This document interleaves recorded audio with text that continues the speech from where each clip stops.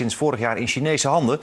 En het Chinese bedrijf achter deze overname maakt op een persconferentie in Peking bekend dat Gao Hongbo binnenkort als assistenttrainer naast Henk Vrezer, de trainer, op de bank zit. ADO ontkent dat, maar dit zond de Chinese televisie vandaag uit.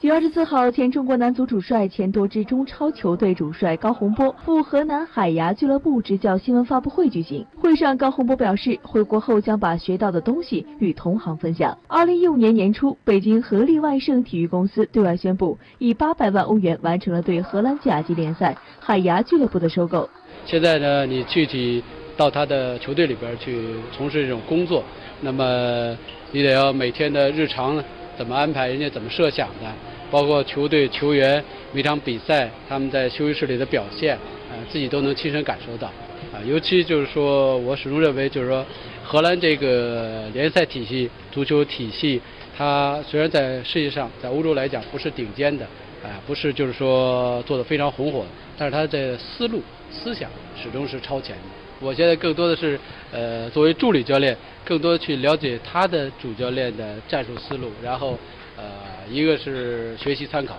另外一个就是自己作为一个助理教练，呃，一个很重要职责就是你能不能就是说提供一些建议，啊，有改变或有完善的地方。